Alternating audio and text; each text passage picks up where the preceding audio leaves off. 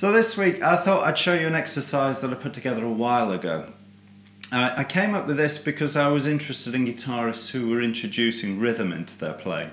So they weren't just playing straight 16th notes, but they'd use some syncopation in there as well. So players like Al Di Meola, he's a great example of someone who, who really has mastered this, this concept of syncopation in the playing.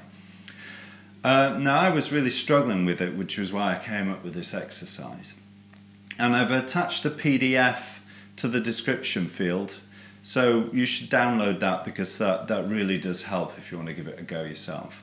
And I'll play it through at the end as well, um, just show you what I can do these days. I've not played it for a while, so it might be a bit uh, ropey, but there you go. Um, but what I'm doing is I'm up on the I'm up on the 10th fret in G major that three notes per string shape there. And what I'm doing is I'm playing in groups of three, I'm playing with a triplet field. But instead of just playing straight triplets like that, I'm starting, I introduce 16th notes on different places of the beat throughout the phrase. So for example, the first couple of bars of this.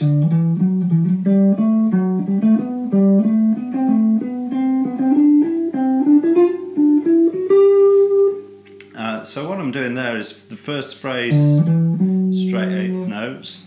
Second phrase I go one and two, three. So you can hear I've introduced that, that 16th note between the first and the second note.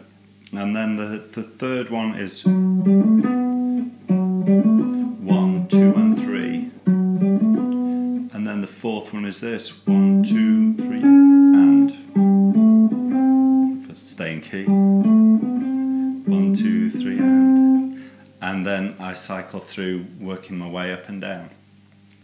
It's one of those exercises that really, you really gain something if you're playing with a metronome as well because that allows you to, to establish the beat and that's, that's the largest part of the battle is, is making sure that all of your notes line up perfectly on the beat.